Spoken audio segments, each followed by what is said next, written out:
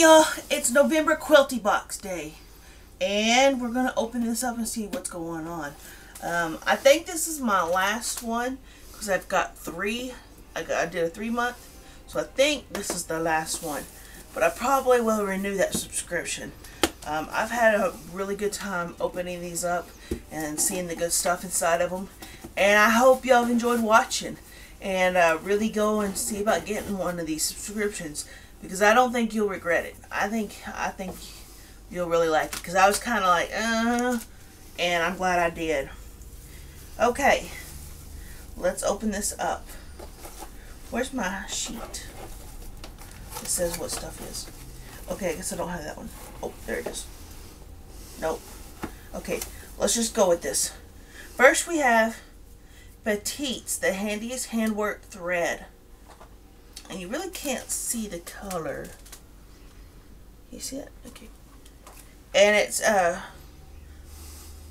embroidery floss. So I don't know if you can run that through the machine or not.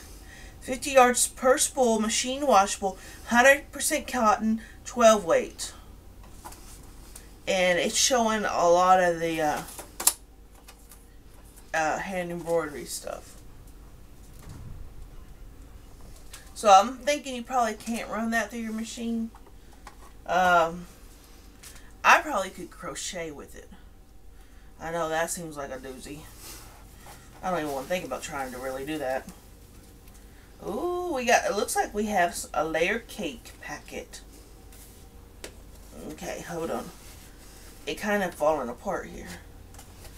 I love you know, since I started trying that, the first quilty box we went through, it had a charm pack square. I'm falling in love with pre-cuts because I can't cut yardage. It's always crooked. So this one says Birds of the Bees Tamara Kate. And it's 25 pieces, 10 by 10, Michael Miller Fabrics.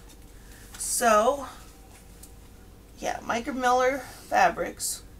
Birds of the Bees and um, it's got some pretty colors. Look at that. Oh, I'm loving the purple there. Uh-oh, it looks like mine got a... Look at that. It's missing its piece.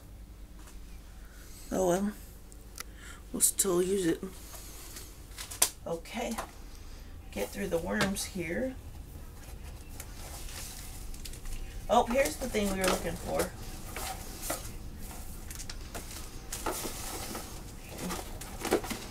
Oh, sorry guys. Sometimes my nails have an issue. Okay, what's in your box? And then this is brought to you by Crafty Gemini, Vanessa Wilson. And I'll be honest, I used to watch a lot of hers. And then she kind of went all about the company and kind of lost herself. And I know I shouldn't say something like that, but that's the way I feel. The same way with Mikey from the Crochet Crowd. He used to be down home, really earthy, you know, but now it's all about companies, sponsors, sponsors, sponsors, sponsors, promoting companies, and he's lost his way too. Um, I'm not going to be afraid to say that because that's the way I feel. My personal opinion.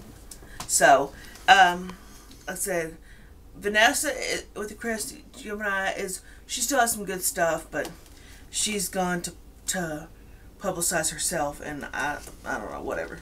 All right, Sulky Paper uh, water soluble stabilizer is next. So, uh, I'm not quite sure what this is for. Use paper Solvy as a base, backing, or topper with or without printing a design on it. Print multiple copies of designs in copy machines. Inkjet or bubble jet printers trace designs using pencils or permanent ink markers or heat transfer design using sulky iron on transfer pins. A great way to use designs off your computer or the internet. So, hmm, I'm not real sure. I've never heard of this. I don't know. I'm going to have to YouTube this because I don't know. So, Alright, and it looks like we got one more thing. And this is called a 10 inch slicer. and it's a ruler. Can you, you want to put it here? Does that work better? Okay. And it says it's for uh, quilters to make quilts using the 10 by 10 squares with no fabric waste and without the need for additional yardage. It's not just as one trick pony. It's a template and a ruler. You can also use the measurement lines to cut strips for quilt designs and scrappy bindings. This is a must-have tool for quilters. Watch Vanessa's video tutorial on uh, craftygemini.com quilty box to learn how to use the template and with the birds and the bees 10 by 10 squares to create fun pillow covers.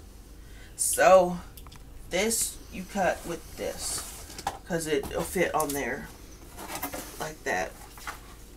So I'm thinking you could probably just whack, do a whack and stack where you take the ruler and cut all the pieces and rearrange them back into pretty cool squares. I'm thinking that's what you could probably do with that. And I found the card, so let me check on that thread real quick. Yeah. Um, mm, yeah, it's for embroidery. So, anyway, that's a pretty good box today. I, I'm I'm impressed because I love quilting rulers. I love quilting rulers and I love fabric.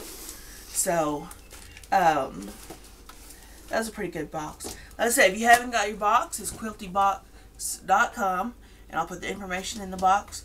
Um, thank y'all for watching, and have a good one.